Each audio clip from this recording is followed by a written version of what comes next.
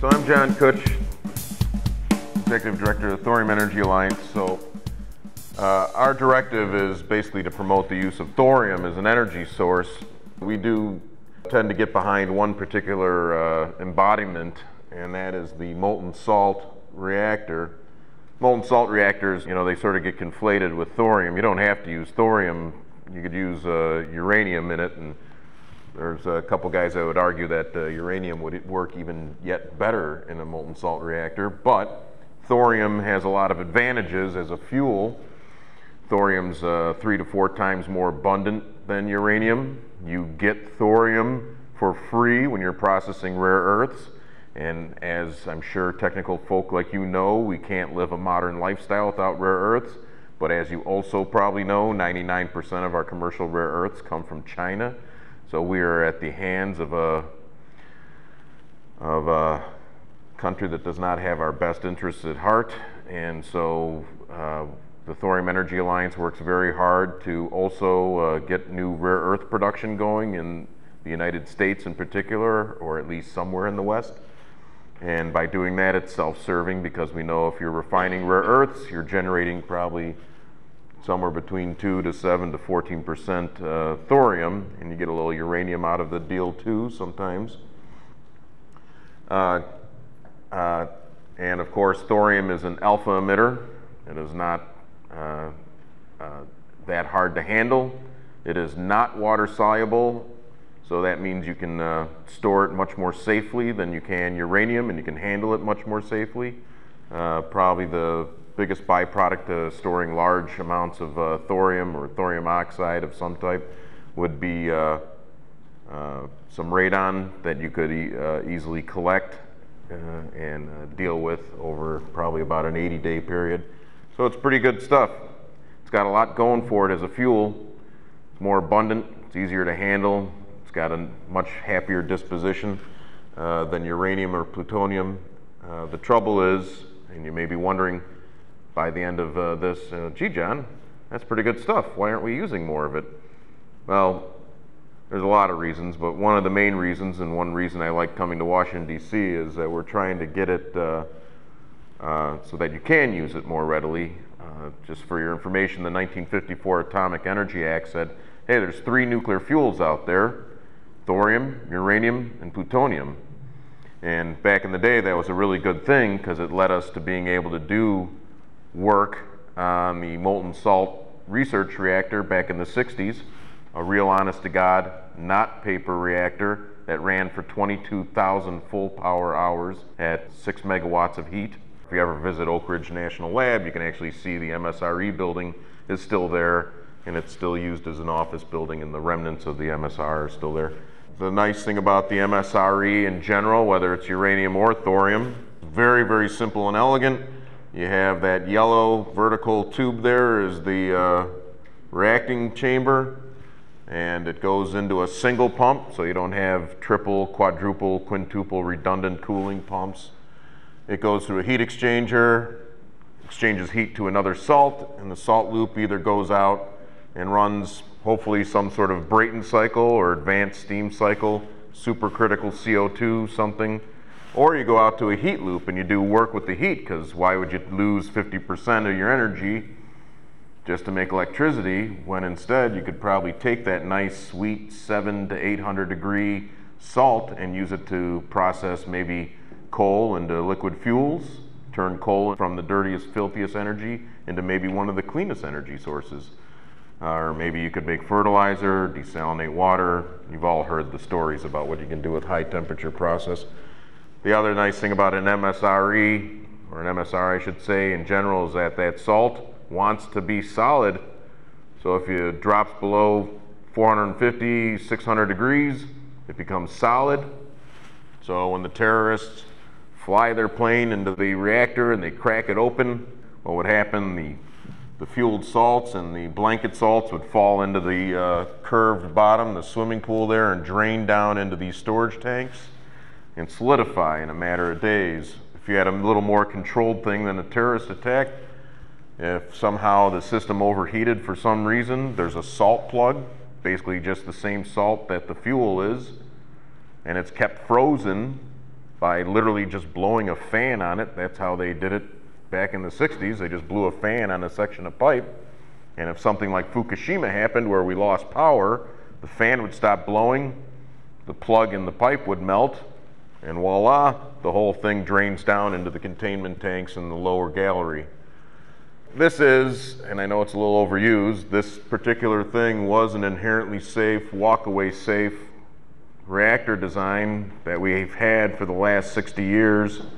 And uh, Dr. Alvin Weinberg, who had a huge part in developing the light water reactor, literally begged several administrations from Kennedy to Nixon to please, this is what a civilian nuclear reactor should be.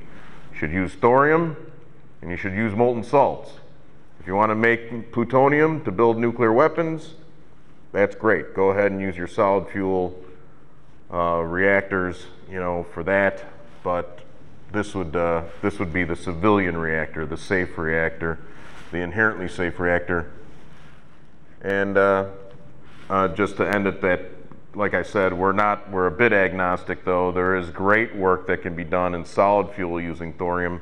There's companies such as Thorium One in Canada. Uh, there's Lightbridge, which used to be Thorium Power here in the United States, that worked very closely with the Russians to make solid fuel, MOX fuel replacement rods. And of course, we have some wonderful representatives from South Africa here who want to, uh, you know, pick up where some work was left off with thorium pebble bed reactors, and that's also the work that's being done by Per Peterson at uh, Berkeley. Uh, so there's uh, there's we could extend our uranium fleet using thorium. Shippingport, as many of you know, ran its last fuel load using thorium. China is putting one to two billion dollars. If you look up uh, the Chinese Academy of Sciences, they had a press release in 2011, and and and just recently, Mark Halper has written about it. Uh, you can look up the Chinese Academy of Sciences is working to develop the what they call the TMSR, the thorium molten salt reactor, and they are skipping over Gen 3. They're going right to Gen 4, and uh, uh, and they've put real money, billion dollars. There's zero dollars in the United States being spent on this. The other place that might get this done is Canada because they do have a huge interest in process heat. And if you look at that thing as just a as just a hot cell, and you get rid of that whole Brayton cycle turbine hall in the middle there, what's valuable to a lot of people is 800 degree, always on process heat that's very cheap and somewhat mobile, certainly, you know, safe and efficient. And as uh, Bob said, it's, it's a zero pressure system. You could, if you took the lid off of the containment there, you know, so there's no water to flash off, you know, there's no water to disassociate you're, you know, you're not going to have uh, uh, catastrophic events like, like that. That gets to be pretty attractive to somebody who's trying to suck tar out of the ground and they want mobile lily pads to, to do that. So the idea of a 10, 50, maybe 100 megawatt mobile reactor that could fit into uh, in the back of a container system and sent to uh, sites by helicopter, that might be worth a billion dollars worth of R&D to, that's nothing to, to petroleum companies. Let's talk a little bit about thorium health physics. And these two pictures are from Fernald, the uh, Management University of Cincinnati, which happened to be the Department of Energy uh, legacy management and all of the thorium with the Department of Energy were part of the weapons program. It ended up in, in uh, Fernald uh, to be basically their, their repository. They put them in barrels and uh, the barrels leaked and things like this. And so they had a big re uh, repackaging uh, uh, process. And so people were had to monitor and had to suit up like this way to, to, to, to deal with the thorium here. We had a quite a large staff. Uh, part of the, we were part of the weapons program. Part the, I was part of the weapons test program. And so uh, we had about, right now we have about 15 what I consider senior technical staff here, offices across the country. Most of our people come from the national labs. We either worked at Lawrence Livermore Lab, Los Alamos, uh, Argonne National Laboratory, Oak Ridge National Laboratory, Rocky Flats, Hanford, places like that, Fernald, that actually dealt with the material here. So uh, what uh, we are expertise in uh, health physics, radiation protection, and primarily uh, criticality too, and anything dealing with uh, nuclear, nuclear safety here. We work for both the government, you know, we have contracts with Center for Disease Control, it's one of the things I'm going to talk about. Uh, we have work with uh, the, uh, the, national labs, and we work with private industry. Matter of fact, we're working with a company right now working on uh, spent fuel storage, uh, some of the issues that are showing up in spent fuel storage. Open Yucca Mountain now. I mean, okay. uh, the goal of this talk is discuss historical interests in thorium and introduce some of the health physics issues relating to specifically of handling thorium, okay? Again, I say, not a showstopper, but let's talk about it. And I want to pass on some related experiences, uh, not only personally, of handling significant quantities of thorium and uranium-233. Okay? Let me go to the next slide here. Well, as you all, many of you know, uh, the AEC, in its infinite wisdom in the Department of Energy many years ago, uh, had an interest actually in developing a molten salt thorium reactor. That was one of the first concepts for this particular reactor, to go ahead and put a thorium blanket in there. However, as, as you all, this is the picture on the top one. You guys have seen a lot of it already. It is the molten salt reactor building at uh, Oak Ridge, Tennessee. But the interest was just not in nuclear power. That was not the primary interest. It was funded you know, by the Department AEC at that time, and there was certainly weapons applications for it here. The bottom left is a shot uh, for called Teapot, part of the METIS series in 1955. I was not there, but uh, certainly shortly thereafter. This used uranium-233 as a fuel. There has been several events personally involved that we actually put together U-233 and shot it, okay, and executed the event. It's called a device, not a weapon. You know, I've seen some articles that said, it's, can I it into a weapon? It's probably, we have never done that, but we certainly have done it in, in a device. The next one I think is of interest here. I think I stole that from one of your slides here, John. Um, got to keep track of this one here. Um, the uh, Department of Energy um, was uh, very interested in uh, disposing of some of the legacy 230, 232 material. In this bottom picture, they spent a lot of money, 17, 20 million dollars, just to move it from Fernald and, and bury 7 million pounds of thorium, thorium nitrate at the Nevada test site. Wow, you know, that's a lot of stuff here it, it, can really supply a lot of many, many years of uh, nuclear energy if we ever convert this into usable uh, energy. I want you to remember this picture because we know where it is. Okay? and if we ever want to go back and get it, we can do that. Okay, it's there. That's a good thing. So we just didn't get rid of it. It is there. Okay? Retrievable? Okay, I hope so, but maybe it's not. There's also the Department of Energy, in its wisdom, is spending up over $500 million, well over $500 million, to destroy 450 kilograms of uranium-233. Should I say that again? yeah, I mean, infinite wisdom, our good, our good, our government. You know, it's uh, uranium-233, we got to get rid of it. Let's downblend it, whatever the case may be, so it cannot be used for a, a, a, a device or a weapon again. Well, misthinking. You can certainly use it for other things, certainly uh, the application that you people are thinking of here, and certainly can be used to generate uh, bismuth 213 for cancer research, and, and, and primarily as a prime for an entire fleet of liquid fluoride thorium reactors. I think you've heard that before. Okay, next slide. There's a story coming together here. Well, this is probably, I added this slide at the end.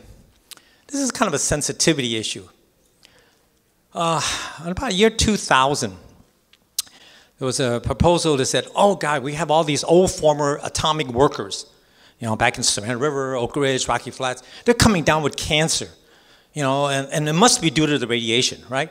So there was a compensation program to get together, administered by HHS, Human Health Services, through CDC, through National Institute of Occupational Safety Health, and through the Department of Labor. That's why you see NIOSH, Depart DOE and Department of Labor to set up a compensation program to compensate people who came down, who coming down with cancer due to radiation worker as a Cold War, World War worker. I'm one, okay? I don't want to come down with cancer, so I don't want to be compensated.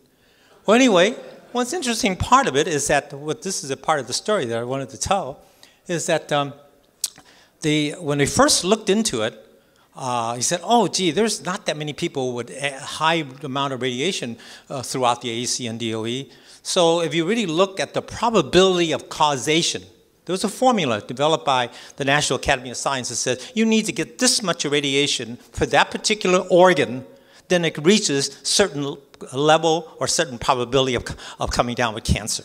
So every organ had a different number, interestingly, you say, okay? As you all know, there's a latency period primarily with uh, getting radiation and coming down with cancer. I remember an old story somebody tell me, Mel, if you get cancer at 105, congratulations. I mean, you know, so, right. So this compensation, now I remember, this is a compensation, it's a, it's a framework that they wrote, wrote down to try to get people to get compensated. It was $150,000 per person, by the way. Okay? And a compensation decision required that you had the ability to do dose reconstruction at a, at a significant accuracy. Significant accuracy? What does that mean, right? is your significant and my significant is two things. Also, in, in put into this particular legislation was the ability that your ancestors can, not, if you died of cancer working at Oak Ridge, but your ancestors could also compensate for you. So my grandfather worked in Oak Ridge or Y12, and we didn't know what he did, but he died of cancer. Compensated. All right? Wow. Well, so they go through a whole process of how to do dose reconstruction. We get all the data. We look you guys up. We look them up. It says, oh, yes, he worked in this particular building for this amount of time. His badge shows so much. What else did he work with? Well, he worked with uranium and plutonium and thorium. And thorium. Well, this is where it got a little bit more complicated here, okay? Remember I said you got to you got to able to do dose reconstruction for significant ac sufficient accuracy.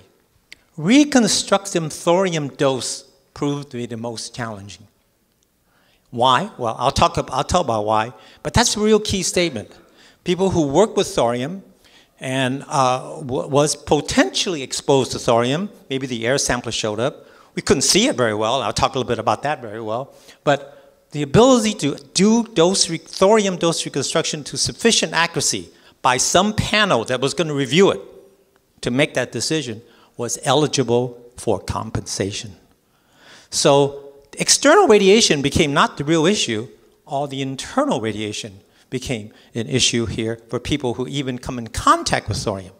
While many of the people, especially at Oak Ridge, I was at Oak Ridge Bank in the early 60s and watched them actually process thorium and thoria. There was a lot of material coming through. They're machining it and doing all kinds of things and, and uh, arc welding, doing all kinds of things with it.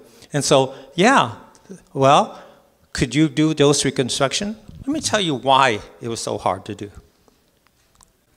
No questions so far, huh? Well, I'm glad somebody brought a piece of thorium with them. I think it was back there with a Geiger counter, right? Yeah, Alex is just passing it around. All you young guys here uh, don't know. I will tell you that's another story. All right, thank you.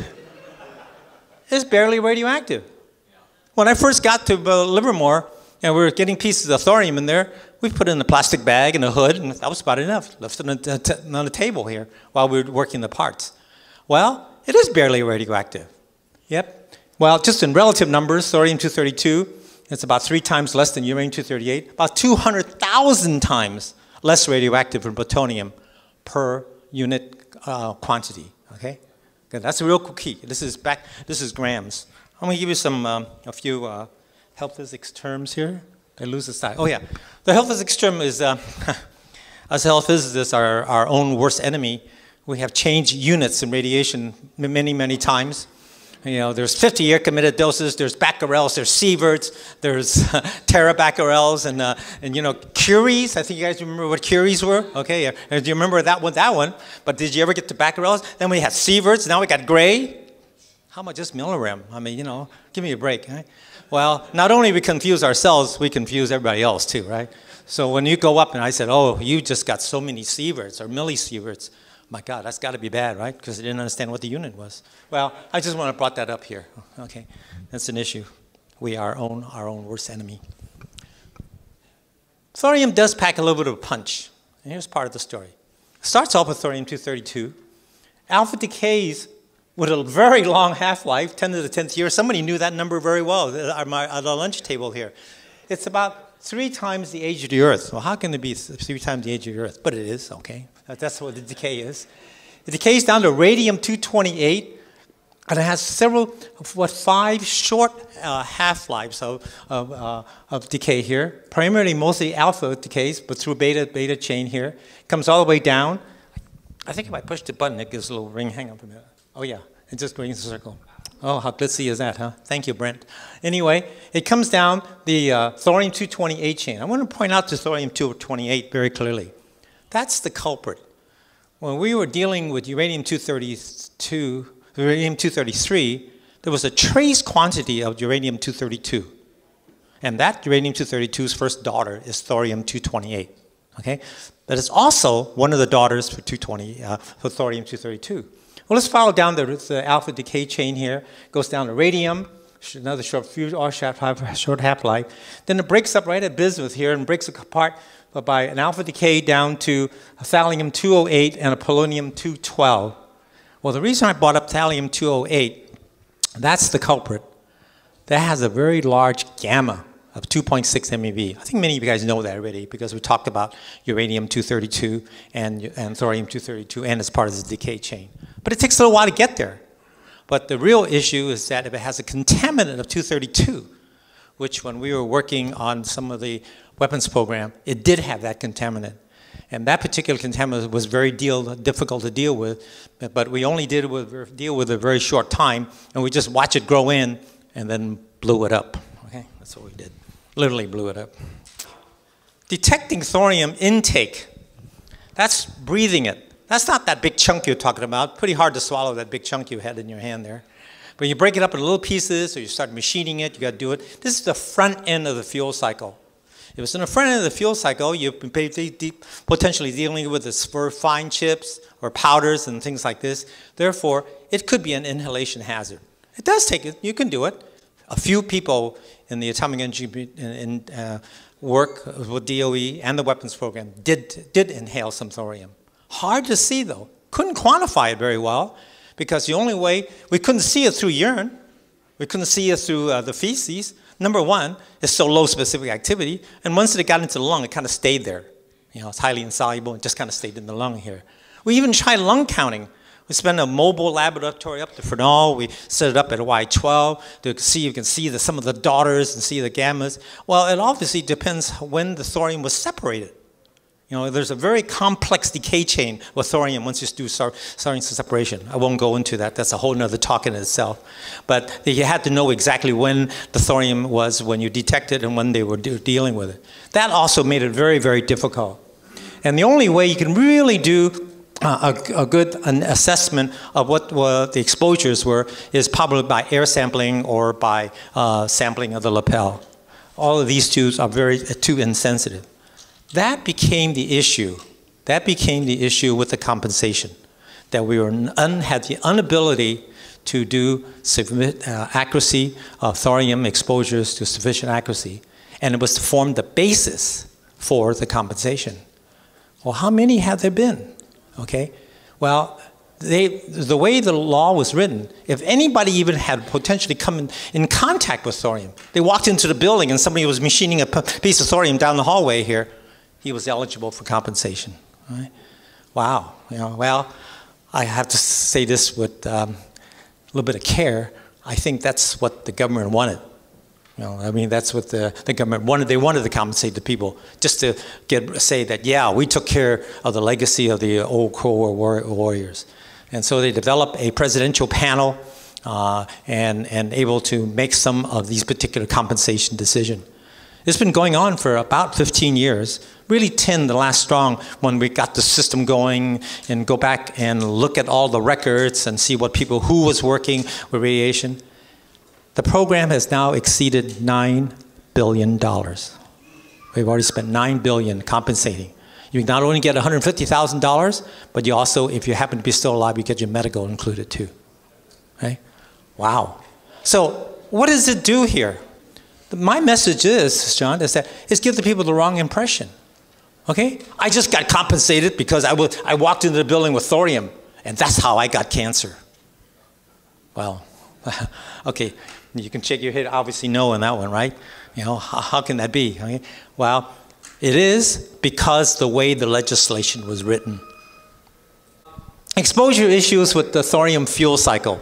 Just want to make sure we know it, and I hope we get a chance to do it. I applaud this particular group together to put a, put a program together with objectives and your goal to get fuel uh, thorium into uh, thorium reactors, your energy as an energy source, part of the fuel cycle. I love to be part of it again. This is the Molycorp, and the Molycorp, they have a lot of rare earths. But they, as you well know, know rare earths comes along with thorium. That's where you find thorium, you find rare earths, and vice versa. It's a real nuisance to them. Matter of fact, the president of Raleigh, Molycorp called me several times and just kind of cornered me. Mel, can you figure a way to get rid of the thorium? Any one of you guys want to buy it? Can you? Do you have any contacts for somebody who'll take it? I know. I think we just buried it. You know, we just can't. We're trying to get rid of it. It's, it's a real nuisance. But it is for the people who are at Molycorp. It does represent a somewhat of a potential exposure. Not big, but it is a potential. Okay. Now this is a picture of the molten salt reactor. Unfortunately, you know, we thought of using thorium, but because they were more interested in the neutronics, they never end up actually putting a thorium blanket around there, but they did use 233. The 233 was made in uh, Savannah River and Hanford, so they used it directly. But the application is here. We had a lot of trouble getting this, dismantling this thing here. So that's another message I want to give. To take apart a thorium uh, U-233 reactor, we got to be careful if we, I hope we get there, right? I hope we get a chance to do that one of these days, that the radiation issues along with the 232 uh, and the gammas from the, and the fission products and things like this is going to represent a radiation exposure. I hope I get a chance to do it again, okay, with you guys. Anyway, in conclusion, thorium is not very radioactive five short half-life alpha emitters, packs a little bit of punch. Thorium will stay in the lung after inhalation. Detecting thorium intakes is a very challenging. External 232 are significant. Unfortunately, this is red. Health physics issues and radiological controls will need to be appropriately addressed in the thorium fuel cycle and the reactor designs especially if we can want to make sure we think about this, especially in designing the reactors, and also the follow-on, if we ever have to decommissioning it, the back end of the fuel cycle, it's going to represent some real fun time for health physicists again. Thank you very much.